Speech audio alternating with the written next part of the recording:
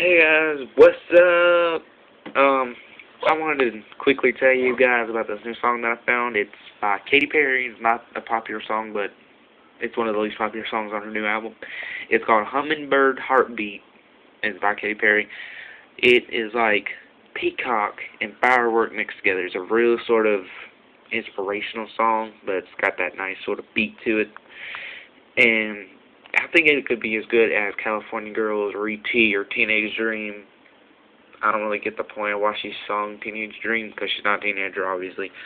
But it was a good song. I like that one. I like all Katy Perry songs. Katy Perry's awesome. But, um, yeah, I'm tired because it's like almost 2.30 where I am. But, anyway, check out Hummingbird Heartbeat. Listen to it on YouTube. Buy it on iTunes, all that stuff. Uh, hate on my viewers, hate on my fans, all that stuff. And don't forget to subscribe to me on YouTube and like me on Facebook. Peace.